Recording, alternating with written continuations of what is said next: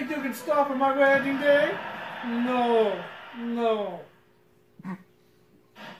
Really massive but okay. Here we go.